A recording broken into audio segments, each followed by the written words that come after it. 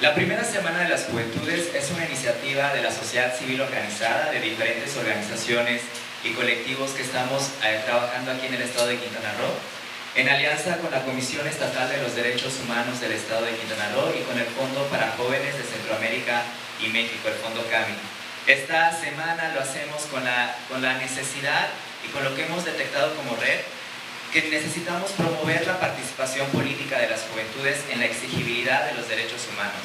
Colocar al centro a las personas jóvenes porque muchas veces en el estado de Quintana Roo las personas jóvenes se invisibilizan ante un sistema que no nos nombra, no nos visibiliza como tal.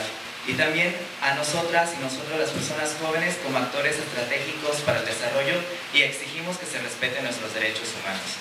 Las juventudes en toda la historia hemos estado presentes, hemos alzado la voz en los momentos de que se ha necesitado, construyendo, accionando, visibilizando las problemáticas del país, pero no solo visibilizándolas, sino solamente con la cuestión de, para mejorar un mejor país y tener un mejor Estado. Por eso la Semana de las Juventudes, en esta iniciativa que estamos realizando, eh, la realizamos del 12 al 19 de agosto con diferentes actividades. Tenemos un festival de inauguración en Chetumal que se está denominado Mi Cuerpo, Mis Derechos en el Callejón del Arte a las 5 de la tarde. Van a haber diversas bandas, diversas actividades artísticas culturales.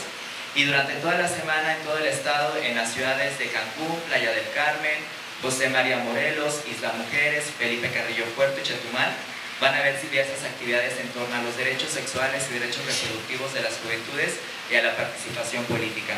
Cerraremos con una conferencia de clausura en el vestíbulo de Congreso del Estado de Quintana Roo, a cargo del Fondo de Población de las Naciones Unidas, el UNFPA, eh, denominada El Potencial de las Juventudes rumbo al Desarrollo. Esa va a ser el 19 de agosto en Chetumal, Quintana Roo.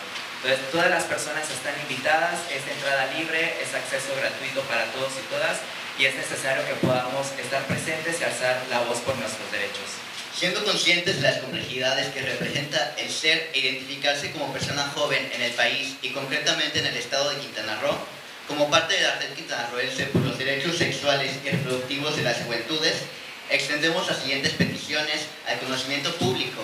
En primer lugar, a las instancias públicas del gobierno que hacen trabajo en materia de juventudes. Y en segundo lugar, a la sociedad civil en general con el énfasis especial de que nos unamos conjuntamente para trabajar en bienestar de todas las juventudes del Estado. Primero, proponemos que la participación política de las juventudes sea una realidad tangible en el Estado. Esto implica que se integre la perspectiva de juventudes a todos los niveles en el diseño e implementación de la política pública en el Estado de Quintana Roo.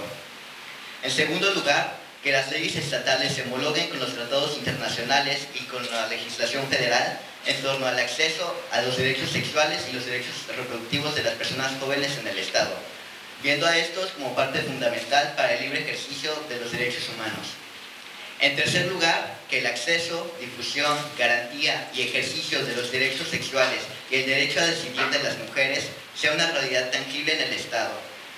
En cuarto lugar, que la educación sexual integral de la sexualidad se integre en el sistema educativo quintanarroense, esto, e, entendiendo a esta como la base del empoderamiento para disfrutar de salud, bienestar y dignidad, así como para entablar relaciones sociales basadas en el respeto y la empatía.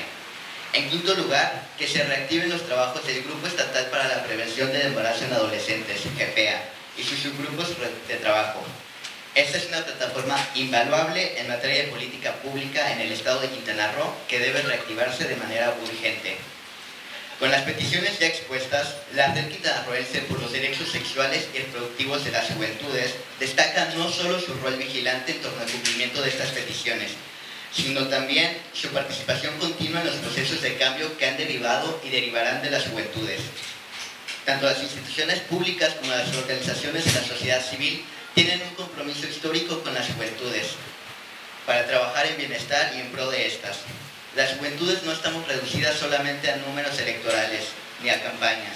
Somos un grupo poblacional lo bastante grande y bastante influyente para incidir en la materia social, política y económica.